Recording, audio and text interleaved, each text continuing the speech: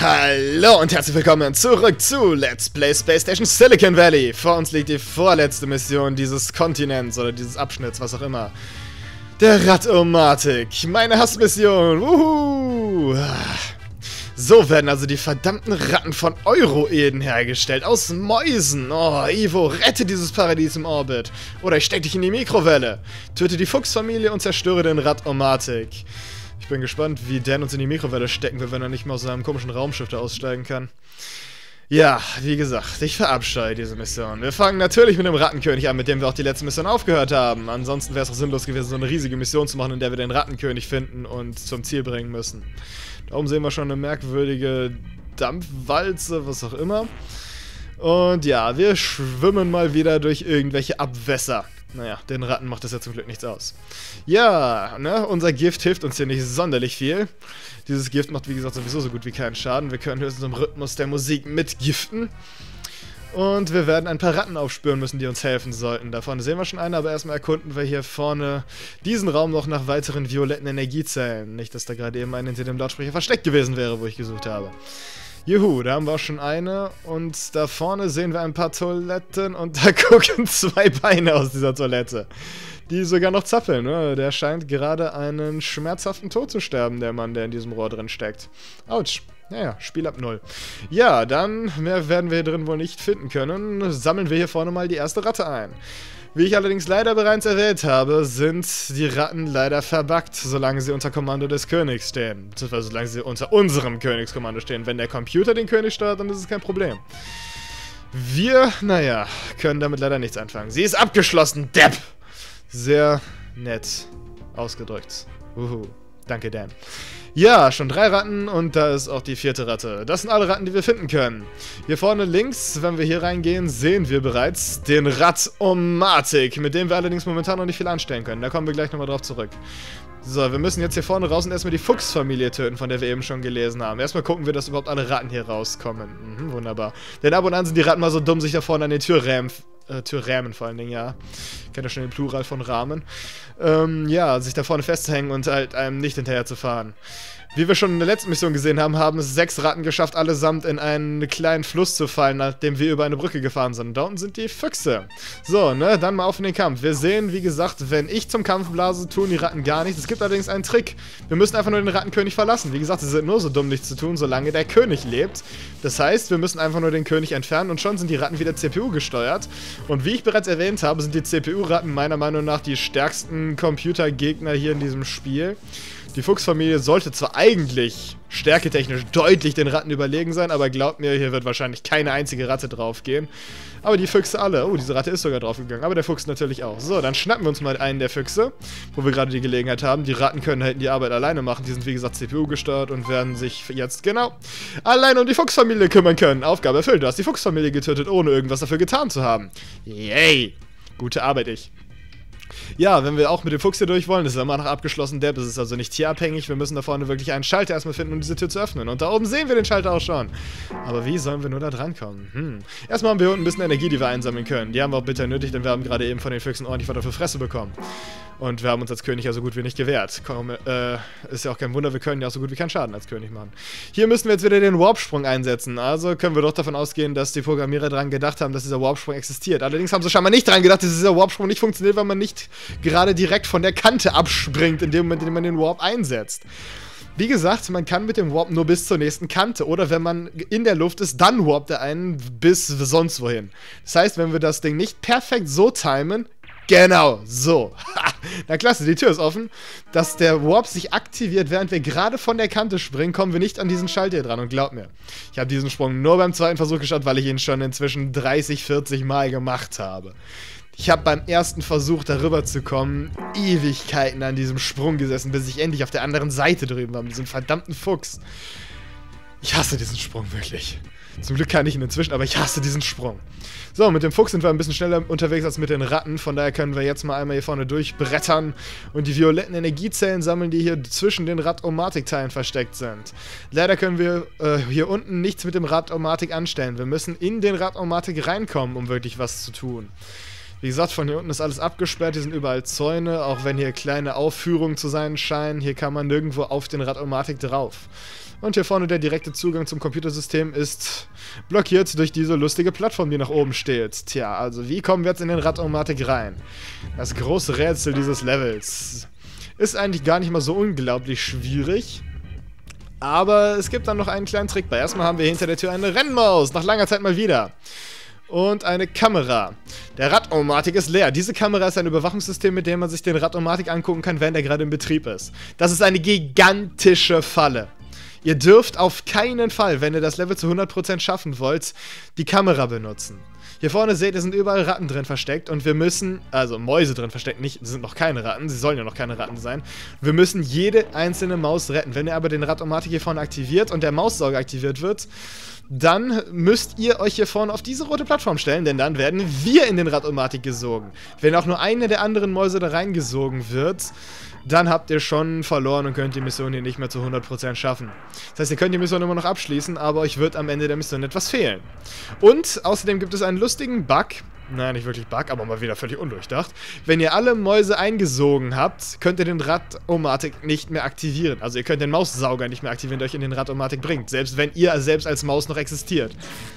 Das Spiel wird nicht mehr akzeptieren, dass äh, der Maussauger aktiviert wird, weil halt keine Ratten mehr in den Käfig, äh, Mäuse mehr in den Käfigen sind. Ich sage immer Ratten zu den Mäusen, egal. So, hier vorne wird es dann wieder gefährlich. Hier haben wir erstmal einen elektrischen Zaun, den wir einfach umfahren können. Das ist wunderbar. Durch den Zaun kommt man auf keinem anderen Weg durch. Den Stampfer, da dürft ihr auf keinen Fall berühren, der tötet euch sofort. Hier vorne dieses Schubsding, da tötet einen fast sofort. Das macht auf jeden Fall sehr viel Schaden. Das Ding hier vorne tötet einen sofort, wenn wir reingeraten, wenn ich mich recht entsinne. Also hier tötet einen eigentlich alles sofort. Wir müssen hier extrem aufpassen mit dem, was wir machen. Wir sausen hier einmal vorne durch. Jetzt werden wir vorne von Flammen verfolgt. Das ist super merkwürdig. Ich weiß nicht genau, wie man diesen Flammen da ausweichen soll. Die verfolgen einen einfach überall hin. Die werden uns auch weiter verfolgen. Wir können zwar drum rum, aber wir sehen, wir werden trotzdem weiter von diesen Dingern verfolgt. Naja, die Flammen sind immer noch da. Jetzt machen sie zum Glück keinen Schaden mehr. Das ist ziemlich lächerlich hier vorne. Und das hier ist der Transformator, der die Mäuse in Ratten schlussendlich aktiviert, wenn sie denn wirklich durch den Radomatik durchlaufen. Uns tut dieses Ding zum Glück nichts. Und zu guter Letzt, das hier macht uns auch noch Schaden, wenn wir da reingeraten. Hier werden die Mäuse dann äh, mehr oder weniger aufgetaut, wenn sie wieder Ratten sind. Ja, ne, das könnt ihr euch gerne mal angucken. Wir werden diese Szene hier nicht zu Gesicht bekommen, weil wir das Level, wie gesagt, zu 100% durchspielen. Und hier auf der anderen Seite finden wir... Beeile dich und zerstöre die Generatoren, die Generatoren und eine Ratte. Das heißt, wir brauchen jetzt die Ratte, um Minen legen zu können, um damit die Generatoren zu zerstören. Das heißt, wir müssen jetzt mit der Maus gegen die Ratte gewinnen, was kein leichter Kampf ist, leider. Da die Maus, wie wir schon wissen, nur diesen leichten Stacheltreffer vor sich landen kann und die Ratte Minen legt und immer vor uns abhaut und leider nicht in den Nahkampf kommt. Was eine extrem schwierige Angelegenheit hier ist. Wobei, wenn die Ratte so sprengt, kann sie den Radomatik sogar selber erledigen. Wow! Sie hat sogar einen Computer gerade schon selbst erledigt. Gute Arbeit, Ratte. Ja, vielleicht brauchen wir die Ratte gar nicht und sie zerstört den Radomatik einfach selber. das wäre auch mal was Neues. Äh, ausweichen. Ja, wir haben schon viel zu viel Schaden genommen. Ich befürchte... Ich will diesen Kampf hier nicht verlieren, aber wir haben das erste Mal Schaden gemacht. Uhu. Die Ratte hält zwar nicht zu viel aus, aber... Okay, wir haben es geschafft. Der Radomatik ist zerstört. Ja, wir haben die Ratte nicht mehr erledigt, aber trotzdem ist die Ratte so dumm gewesen, den Radamatik selber zu zerstören, während sie uns hat versucht zu sprengen. Wunderschön. Ja, und jetzt sehen wir eine wunderschöne Michael Bay Actionfilm-Szene, in der einfach alles sinnlos explodiert. Jede einzelne Station des Radomatik explodiert nacheinander. Wuhu, merkwürdig, aber was soll's. Ja, ich weiß nicht genau, wie das hier gebaut sein soll, dass hier jetzt jede einzelne Station explodiert. Ich weiß auch nicht, was das soll, warum sich das nicht einfach alles deaktiviert. Das wäre irgendwie sinnvoller. Aber was soll's, das soll mir recht sein. Auch wenn wir dafür jetzt diese nervige Szene überstehen müssen, in der jetzt jedes einzelne Rohr einzeln explodiert. Was zur Hölle hat man sich dabei gedacht? Ernsthaft? Jedes einzelne Rohr explodiert? Hä? Naja, es gibt ja nicht sonderlich viele Zwischensequenzen in diesem Spiel. Da hat man sich wohl gedacht, hey, in dem Level machen wir wenigstens mal ein paar Effekte. Und wir sehen die Türen der Mäuse Mäuse sind alle gesprengt worden und die Mäuse sind allesamt frei. Alle fünf. Aufgabe erfüllt, du hast den Radomatik zerstört. Und wenn wir jetzt, wie gesagt, nicht alle fünf gerettet hätten, dann würde uns jetzt gleich was fehlen, wozu wir jetzt kommen werden. Die Ratte lebt da oben immer noch. Wir sollten gucken, dass uns die Ratte nicht tötet. Uhu, alle Mäuse fahren uns vorbei. Übrigens, egal welches Tier ihr jetzt nehmt, die äh, Mäuse hier erkennen euch immer. Also ihr könnt hier auch als Ratte oder Fuchs hinfahren, die Mäuse werden euch trotzdem als Retter ansehen. Danke, edler Retter. Wir werden das nie vergessen. Folge uns zum Ausgang. Sie sind uns übrigens auch so dankbar, dass wir sie völlig ohne Probleme jetzt umbringen können und sie werden uns dafür nicht hassen oder zurück angreifen oder sonst irgendwas tun. Ja, man sollte es aber trotzdem erstmal noch nicht tun, denn hier vorne an dieser Kugel sind wir eben noch nicht vorbeigekommen. Sesam, öffne dich! Hier können wir jetzt durch diese letzte Röhre durchfahren. Und wir sehen, wir kriegen für jede Maus, die wir gerettet haben, eine violette Energiezelle. Und da seht ihr jetzt das Problem. Wenn wir nicht alle gerettet hätten, würde uns mindestens eine Energiezelle fehlen und für jede weitere Ratte, die wir nicht gerettet hätten, eine weitere Energiezelle. Und ja, ne, so könnten wir das Level nicht zu 100% durchspielen, weil wir halt nicht alle Energiezellen gesammelt hätten. Gucken wir mal, was hier unten noch lebt. Erstmal müssen wir, ja, wir müssen hier mit den Raten aufpassen, die uns jetzt alle angreifen. Erstmal den König rein, damit die uns nichts mehr tun. Rupp. Ja, hier unten gibt es auch noch ein paar violette Energiezellen, wobei eigentlich ist es besser, wenn wir eine Ratte sind, mit der können wir uns wenigstens wehren und Sachen machen. So, ja, dann gucken wir uns an hier vorne um. Hier vorne sehen wir nämlich, hier liegt die Trophäe dieses Levels einfach so auf dem Grill. Wie soll man da nur drankommen? Hm, merkwürdig, tja. Aber kein Problem. Dafür gibt es natürlich einen Plan. Erstmal gehen wir wieder in den Rattenkönig rüber. Rup, denn der sollte schwer genug sein, um hier vorne diese komischen Kisten zu schieben. An die hatte ich gerade eben gar nicht mehr gedacht. Die müssen wir nämlich zu der Rattentrophäe da vorne hinschieben. Wir sehen, die Rattentrophäe brennt momentan noch. Ein bisschen merkwürdig. Ja, was wir hier machen müssen, macht nicht so richtig viel Sinn in Anbetracht der Tatsache, dass diese Fässer da wahrscheinlich nicht gerade Wasser, sondern eher irgendein vergiftetes, explosives Material enthalten. Aber gut, was soll's. Jetzt gehen wir wieder in eine Ratte zurück und jetzt können wir mit der Ratte nämlich da vorne diese beiden Fässer sprengen gehen. Wie gesagt, macht nicht unbedingt Sinn, aber was soll's. Hm, ich weiß gar nicht, ob wir das zweite Fass auch brauchen. Ich hoffe jetzt einfach mal nicht. Wir sprengen jetzt erstmal dieses eine Fass, das wir da vorgeschoben haben. Bam, bam. Mhm, das hat noch nichts gemacht. Also sprengen wir das Ding nochmal. Das sollte dann eigentlich reichen. Und... Jawohl, bam bam. Wir sehen, da sprüht eine merkwürdige grüne Flüssigkeit raus, von der ich gar nicht wissen will, was es ist. Und das Feuer wurde gelöscht. Ab jetzt können wir an die Trophäe ran. Aber wir müssen natürlich auf die Höhe der Trophäe kommen. Das heißt, wir müssen mal wieder mit einem Warp-Sprung dahin. Jetzt gucken wir erstmal, dass die Ratten uns nicht töten. Ja, wir sind aus der Reichweite der Ratten. Das ist sehr gut. Hier vorne kommen übrigens die fertigen, in Anführungsstrichen, Ratten raus, wenn sie vom Ratomatik umgewandelt wurden. Und da war auch noch eine violette Energiezelle. Ja, so, da ist noch eine Energiezelle, sehr schön. Und jetzt sollten wir eigentlich keine Probleme haben, uns fehlen noch zwei Stück, mit dem Warp-Sprung da vorne drauf zu kommen. Na gut. Der Sprung ist eigentlich einfacher als der andere drinnen, aber na gut, ne? Ist halt ein weiterer Sprung. So, Ziel, äh, das war ja total daneben. Okay, noch ein Versuch, noch ein Versuch. So, jetzt aber mit Mars. Ja, sieht gut aus. Irgendwie ist dieser Sprung schwerer als erwartet. Aber ich eier auch merkwürdig rum. So, jetzt. Okay, einmal genau Ziel nehmen. Ja, genau gerade drücken. Jetzt nicht wieder abrutschen. Jawohl! Und wir haben die Trophäe erwischt. Wunderschön. So, jetzt müssen wir hier nur noch lebend wieder rauskommen. Ähm, ja, ich glaube, wir verwandeln uns mal eben in einen der Ratten hier vorne. Dann gehen wir rüber zu unserem Rattenkönig. Mhm, mhm. Und locken erstmal die ganzen übrigen lebenden Ratten hier vorne weg, damit sie uns nicht töten, wenn wir gleich versuchen, hier rauszuflitzen. So, ihr kommt mit nach hier hinten, ihr Ratten. Und jetzt springen wir hier vorne in einen Fuchs und benutzen unseren Warp-Antrieb, um abzuhauen. Wutsch! Und dann gehen wir wieder in eine Maus rein. Wunderschön.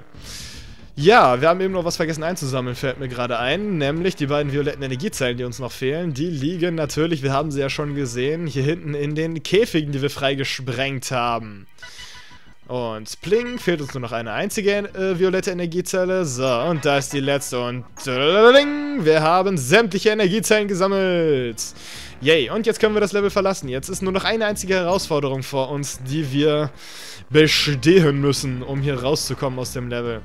Das kann ein bisschen schwierig sein, wenn man nicht gut geübt mit der Rennmaus ist, aber ich finde sie persönlich eigentlich recht leicht. Hier drin sehen wir erstmal wieder, stehen die ganzen Mäuse rum, die wir gerettet haben.